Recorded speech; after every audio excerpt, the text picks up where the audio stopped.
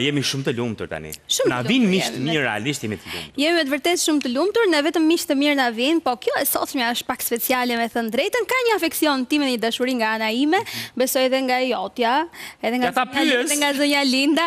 Jo, jo, nga ne, ne për të, se ajo pastaj na e thotë live. E duam pa fund. Gjithsesi, është një vajzë që unë e kam vlerësuar shumë në momentin që e njoha nga afër edhe më tepër.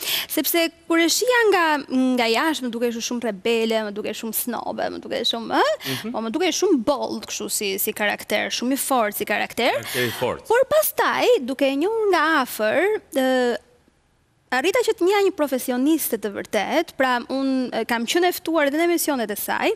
Dhe më ka bërë shumë përshtypje kurimi deri në detajet më të vogla, përkushtimi, hulumtimi, fakti që një produksion e bënte vetë nga a-ja te zh-ja dhe përpiqej kaq shumë, pra nuk ishte ai rasti tipik i atyre gocave bukuroshe që thua ama se hajt se ka marrë ndonjë favor apo ku e di unë se çfarë, se ndodh ndonjëherë që është ky paragjykimi që ma merr mendja dhe atë e ka rrethuar, por që pashë punonte shumë.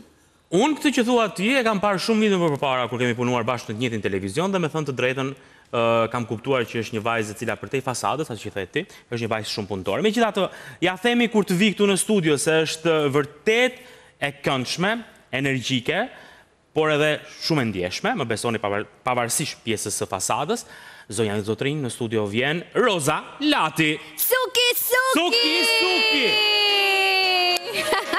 Unë do të të puth të mos të prish make-upin, apo s'ka gjë?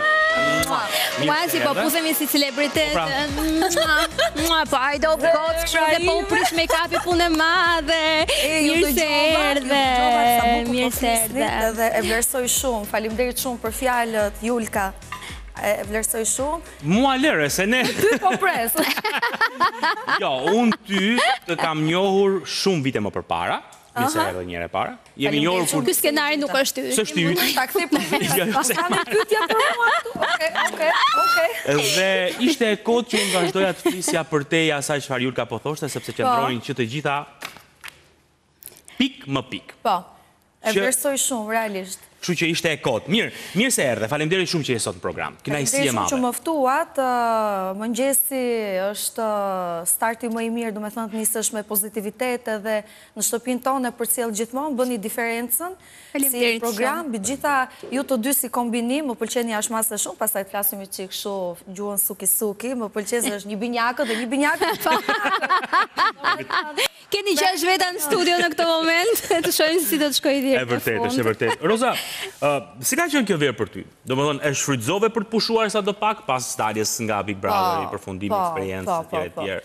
Jashtë mase shumë e këndshme, e kam shijuar shumë, ka ndodhur, vera ka të papriturat e veta, disa gjëra më kanë dalë jashtë llogarive, por krahëhapur i pres, flas për gjërat e mira. E pra, sa doja të thoja. Të mira, të mira ka ndodhur, Kam nja ca vite që them u bëftë më e mira, u bëftë më e mira po duke e thirr kaq shumë tani. Do vijë më e mira tani.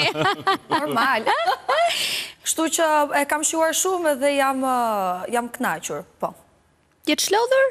Po po po edhe jam çlodhur. A ishin këto pushime të nevojshme pas gjithë eksperiencës? në Big Brother. Jashtë mase shumë, tani shiko se kam folur dhe me mikeshat e Bigut, me gocat, edhe disa nga gocat për shembull e kishin përjetuar pak daljen nga shtëpia, pak kështu si keq, më kupton, pak me me ndonjë këshillë të profesionistëve, psikologëve. Okej. Ndërkohë Roza Lati doli nga Bigu, Ok, të nesërmen i hipa avionit dhe ika në Vjenë, por kur u ktheva dhe u ktheva në realitetin tim, në lagjen time, në rrugicën time, zemër u kënaqa.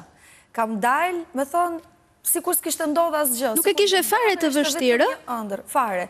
Me sa duket, E kam ushtruar shumë të përshtatem në jetë dhe bën të vetën. U përshtata direkt unë. Mbaj mend, dilja në këmbë dhe vetëm shifja ftyra të reja. Mos të shihja të njëjtat ftyra që kam parë për katër muaj. Jo, s'ke faj me thënë të drejtën. Nuk kam dashur t'i shoh, por që kam qenë e detyruar. Normalisht. Por që vetëm ecja në rrugë në këmbë dhe shihja njerëzit, shifja ftyra të reja, u ula, mbaj mend pija kafe tek Pull me qenin tim. Në një lokal që ishte plot me njerëz dhe u ula dhe vetëm rrija.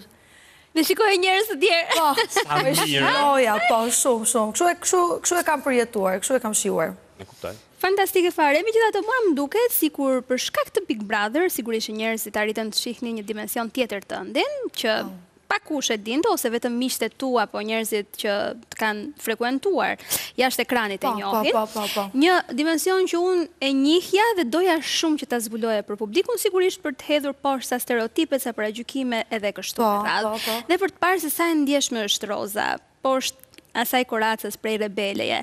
A më duket mua, a më duket mua apo sikur të janë shtuar shumë edhe fanset gra Po, pas Big Brother-it. Fantastike, po, jashtë mase. Domethënë, se është, kësaj i bie, domethënë, sikur të mburrësh veten dhe s'para më pëlqen, por... Jo, jo, jo, e vërtetë. E vërteta është e vërtetë. E vërteta është e vërtetë, gratë dhe vajzat, zonjat dhe zonjushat, një dashuri, çmenduri.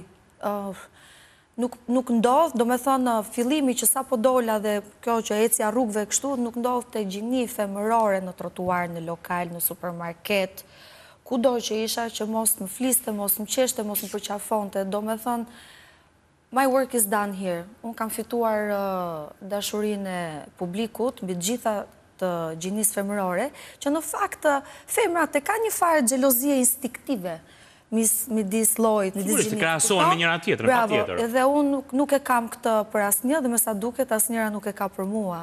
Edhe kjo është gjë e madhe. Unë e vlerësoj shumë. Nuk e ke idenë sa dashuri nga gratë dhe vajzat.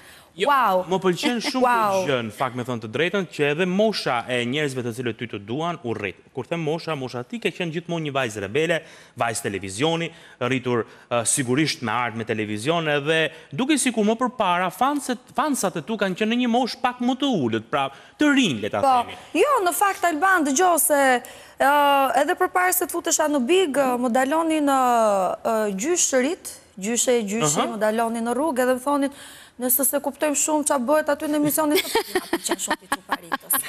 Më kuptojmë shumë që e kam patur gjithmonë simpatinë edhe nga moshat e më. Po, Roza, po, të paskan ndaluar kaq shumë gra, po, pra, kaq shumë vajza, po, ndonjë djalë tani, nuk të vjen keq që s'të ka ndaluar?